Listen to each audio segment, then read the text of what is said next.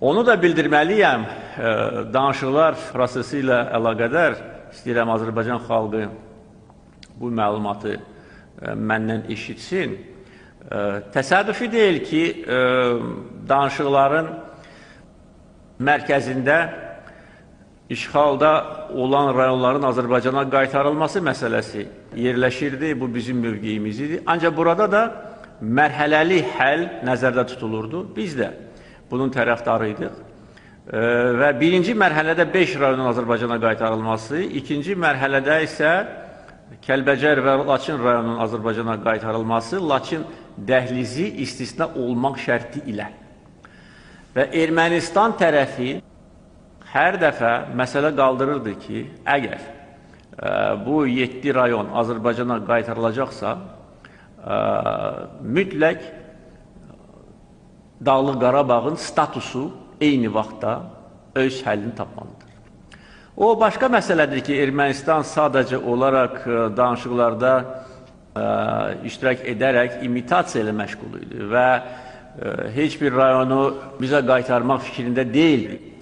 Ancaq istənilən halda onların mövqeyi belə idi ki, 5 rayon qaytarıla bilər, amma Laçin və Kəlbəcər rayonlarının Azərbaycana qaytarılması üçün Azərbaycan Dağlı Qarabağın müstəqiliyini ya tanımalıdır, ya da ki, orada keçiriləcək ə, e, səs verməni tanımalıdır və səs vermə üçün tarix müəyyən edilməlidir və Dağlı Qarabağa müstəqillik verilərsə, o zaman Ermənistan, Kəlbəcər və Laçın e, rayonlarını Azərbaycana qaytaracaq. Ancaq Laçın dəhlizi Ermənistana veriləcəkdir.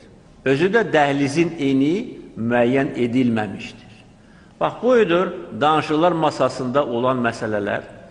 Mən deyə bilərəm ki, bu 17 il ərzində dəfələrlə bizə müxtəlif yerlərdən, xarici idarələrdən belə siqnallar gəlirdi ki, indi 5 rayonu alın, bununla da kifayətlənin, siz e, müxaribədə e, məqlubiyyətə uğramısınız. Ermənistan müxaribədə, birinci Qarabağ müharibəsi nəzərdə tutulurdu.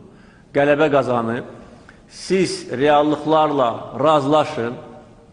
İndi 5 rayon ki, sizə indi vəd verilir, o da böyük şeydir.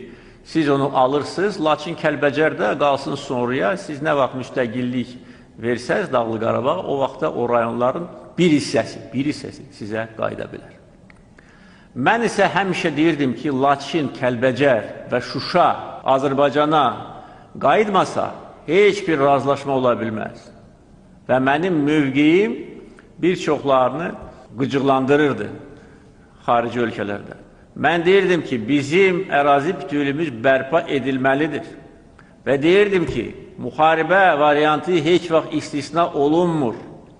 Və nəinki deyirdi, bütün bu illər ərzində bütün gücümüzü səfərbər edib ölkəmizi gücləndirirdik, güc topluyurduq.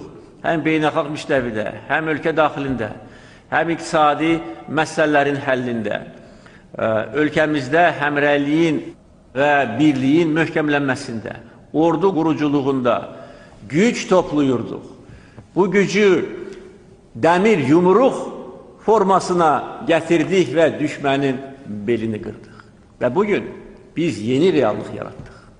Əgər hətta bir bundan əvvəl bizə bəziləri deyirdilər ki, siz mövcud olan reallıqla barışın, bugün mən deyirəm, hər kəs mövcud reallıqla barışmalıdır.